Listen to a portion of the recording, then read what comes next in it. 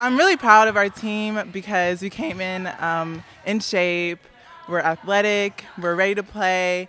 The first day of preseason, we were competing like crazy. So I expect us to compete this year, and I expect us to win and bring a ring home for Delaware. So I'm just really excited about our four freshmen. They're just extremely ready to play, and I'm excited about that every day, every play. Like that's our motto. So we're telling our freshmen that we're really working on um, getting a championship. Everybody's coming in here early just to do reps, just to keep getting our expectations higher and higher. Because coach knows that we can be the number one seed, even though we weren't put as we were put as six this year.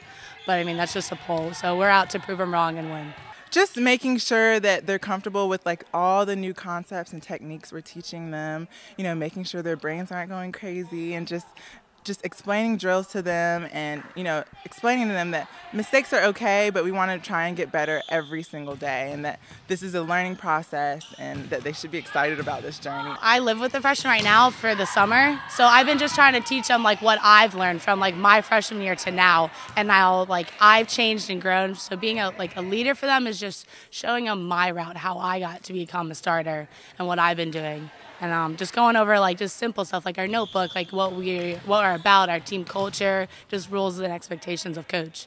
The Florida tournament will definitely set the tone for the whole season. So I'm just excited to get out there and compete. But this intro one, is, it's big for us.